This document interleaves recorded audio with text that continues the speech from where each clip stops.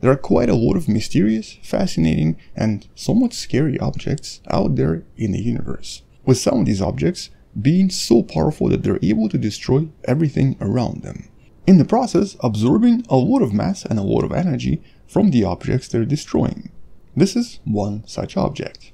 Hello wonderful person, this is Anton, and today we're going to be discussing some of the most recent discoveries in regards to these very peculiar and somewhat terrifying objects known as the Black Widow pulsars, or sometimes just known as Black Widows.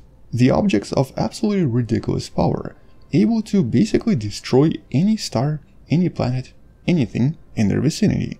And through this destruction, they actually absorb a lot of this into themselves, becoming more and more powerful in the process. But also, at the same time, potentially solving one of the longest mysteries in regards to certain neutron stars. Because that's basically what this is as well. This is a very unique type of a neutron star, or more specifically a pulsar, pulsating neutron star, that just so happens to be in just the right position and just the right orbit to suddenly start absorbing a lot of mass from its partner. With the one that was recently discovered being particularly interesting because it also seems to be way more massive than anything we've seen before, potentially even reaching the theoretical mass of what a neutron star can be. Anything more massive than that, and it might actually turn into a black hole, in the process initiating some kind of a very powerful explosion. But I guess let's start with the object itself. Where exactly is it, and what do we know about it? So all this is from the study you can find in a description that essentially describes the object known as PSR J0952-0607, the fastest and heaviest known neutron star. This object is located in the Milky Way galaxy, but it seems to be a record holder for a lot of different things. First of all, it's about 2.35 times the mass of the Sun, making this object ridiculously massive compared to a lot of other neutron stars we've seen so far, on top of this, it spins really fast. So here's an example of a pulsar, a typical pulsar, that spins relatively fast, but not as fast as this one. Here the pulsations, as you can see, happen roughly around maybe 5 to 10 times every single second. But in this case, this is a millisecond pulsar, meaning that it actually spins at least several hundred times every single second. It's sort of difficult to imagine for our brain because it's just way too fast, but according to the recent observations, it has a spin of 707 times per second. So imagine this, but basically like 100 times faster. And because this object is also about 14 kilometers across, it makes it an extremely powerful entity. But by also being so massive, it has a lot of other features on the inside as well. And so in this case, thinking of this as basically some kind of a object made out of regular matter is somewhat incorrect because we don't actually understand what it's made out of. We call these objects neutron stars, but in reality only some of the outer shell is very likely made out of neutrons.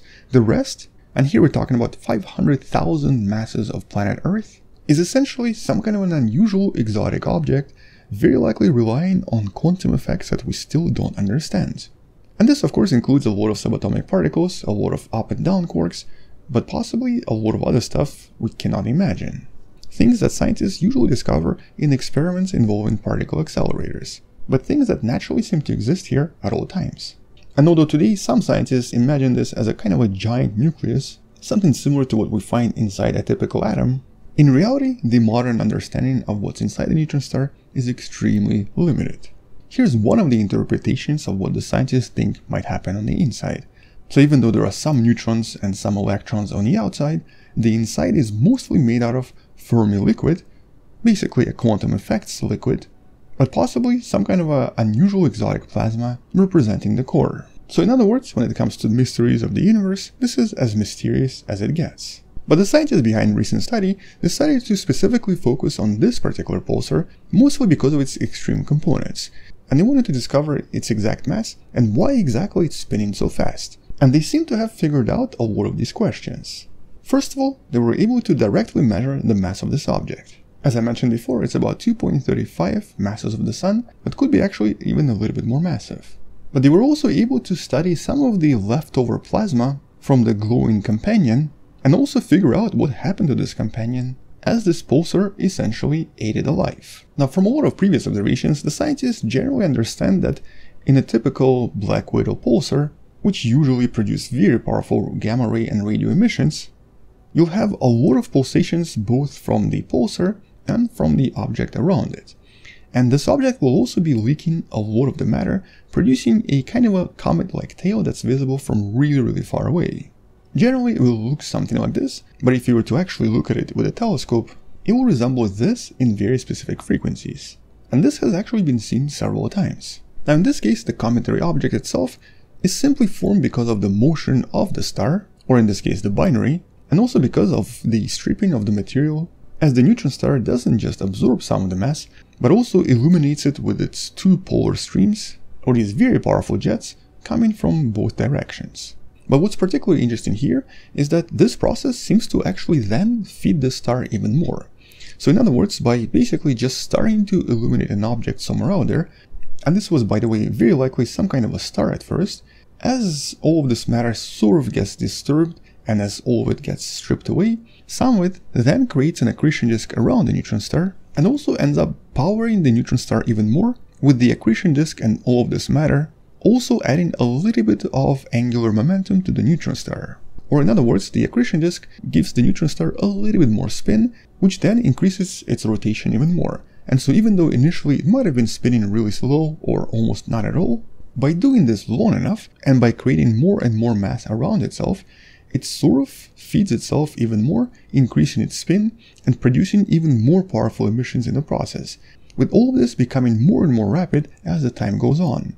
And so this pulsar spin, once it starts, accelerates quite dramatically until eventually the star very likely either disappears or, more likely, turns into something much smaller. And in this case, the scientists believe that it created some kind of a planetary object around the system. In other words, right here, it's no longer absorbing a star, it's now absorbing the leftover planet, probably some kind of a gas giant, that used to be a star, but is now just a chunk of matter resembling Jupiter.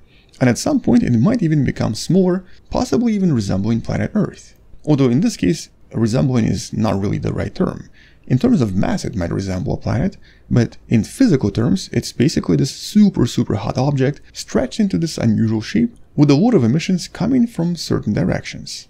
With this process very likely starting because the original star became old enough and started to expand, turning into what's known as a red giant. With this donor star, eventually, through the emissions and through the absorption of a lot of matter, basically disappearing completely because now a lot of this mass was transferred into the neutron star, turning PSR J0952 into essentially the most massive neutron star found.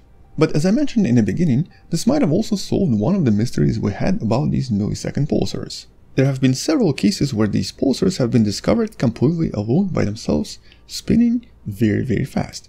And nobody could explain why they're doing so because that's not really how we believe they form. In this case, this might actually provide us with an explanation because as the neutron star in this case absorbs the star, it will eventually leave nothing behind, but will still be spinning pretty fast.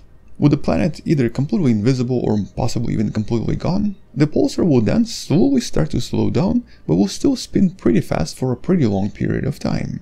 Which of course implies that a lot of these millisecond pulsars discovered in the past are very likely just advanced versions of these Black Widow pulsars that we've discovered in a lot of different locations in the Milky Way which possibly finally solves their mystery and solves a lot of other mysteries about the neutron stars.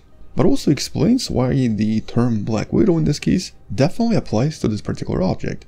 They actually seem to be capable of completely destroying their partners. And not just destroying them, but absorbing their mass and literally eating them. And at the moment, this seems to be the best explanation for what we're observing from these different objects. But if you'd like to learn more about these types of neutron stars, check out some of the previous videos that should be in the description or somewhere right there.